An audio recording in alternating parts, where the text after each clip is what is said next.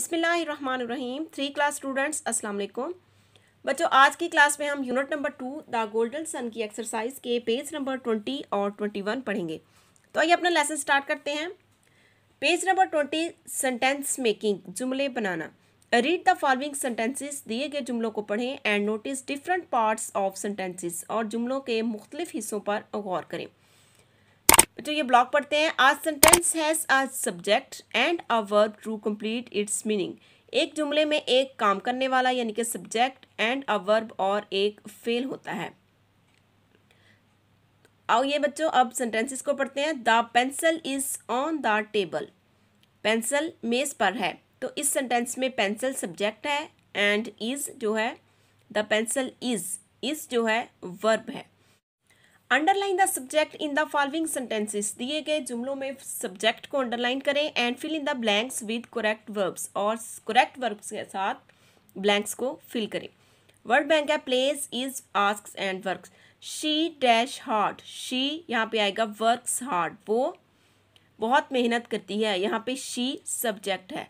The teacher ask a question यहाँ पे ask आएगा बच्चों, यहाँ पे आपने आस्क लगाना है। द टीचर जो टीचर है, ये सब्जेक्ट है।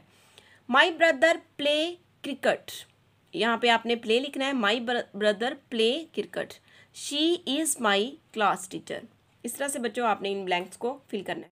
नेक्स्ट है part T reading learning to write write number from fifty to one hundred in words some words are given for help you बच्चों, अब हमने यहाँ पे इन नंबर्स को वर्ड्स में लिखना है तो ये बहुत आसान है बच्चों। वन क्लास में टू में हमने हर जगह पे इन नंबर्स को स्पेलिंग्स में लिखना सीखा है। बच्चों, हमारी हेल्प के लिए यहाँ पे कुछ वर्ड्स वर्ड्स दिए गए हैं। फिफ्टी फिफ्टी वन यहाँ पर आपने लिखना है। Fifty two fifty three fifty four इस तरह से यहाँ पे सिक्सटी दिया गया है। Sixty one sixty two sixty three यहाँ पर आपने सिक्सटी नाइन तक लिखना है। इसी तरह सेवेंटी उसके बाद सेवेंटी नाइन तक लिखना है। यहाँ पे एटी और यहाँ पे एटी नाइन तक आपने लिखना है। और यहाँ तक आपने हंड्रेड तक इस काउंटिंग को आपने वर्ड्स में लिखना है। नेक्स्ट है point two creative reading write a simple descriptive paragraph about your city अपने शहर के बारे में एक सादा बयानिया पैराग्राफ लिखें। A sample paragraph is given for help you आपकी मदद के लिए एक पैराग्राफ सैंपल के तौर पर दिया गया है। व्हेन वी ज्वाइन सेंटेंसेस जब हम जुमलों को इकट्ठा करते हैं इट मेक्स अ पैराग्राफ तो एक पैराग्राफ बन जाता है। बच्चों, देखते हैं कौन सा पैराग्राफ मदद के लिए दिया गया है, Neelum valley. Neelum is a beautiful valley.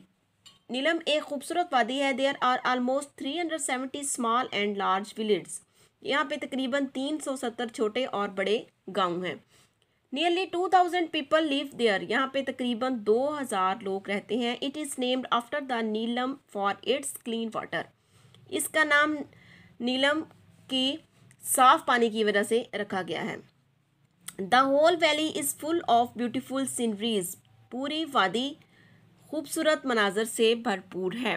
तो आइए बच्चों, आप अपने अपने शहर के बारे में एक पैराग्राफ लिखना है। तो बच्चों, बुक पर दिए गए पैराग्राफ की मदद से हमने इस तरह से अपने शहर के बारे में एक पैराग्राफ लिखना है।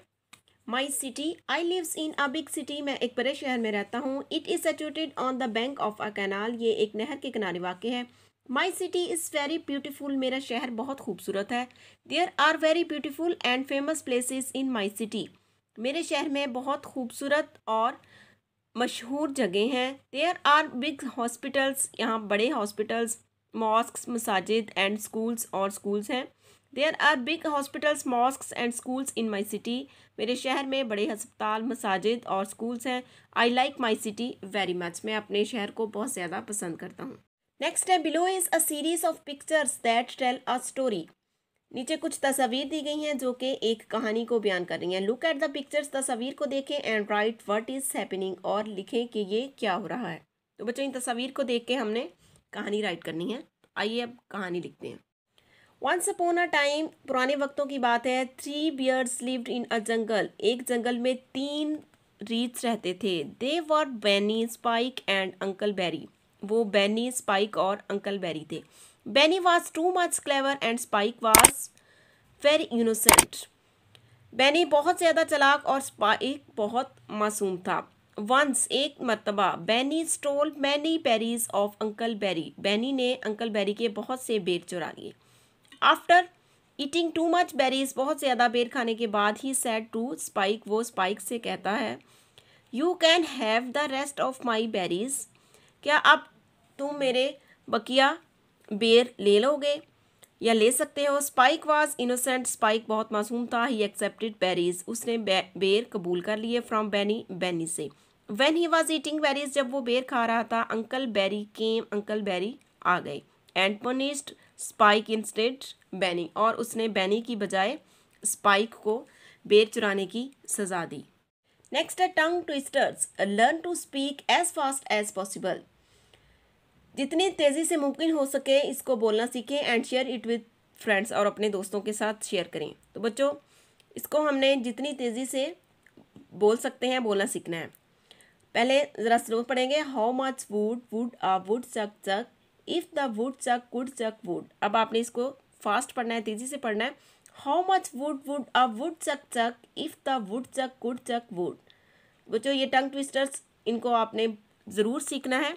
ये आपकी इंग्लिश को इम्प्रूव करने के लिए बहुत ज़्यादा ज़रूरी होती है। तो इसके साथ ही बच्चों, ये एक्सरसाइज ख़त्म होती है और हमारी आज की क्लास ख़त्म होती है। अगर आपको वीडियो पसंद आए तो इसे लाइक करें, अपने दोस्तों के साथ शेयर करें और इस चैनल को सब्सक्राइब करें। थैंक्स फॉर वॉचिंग एंड अल्लाह हाफि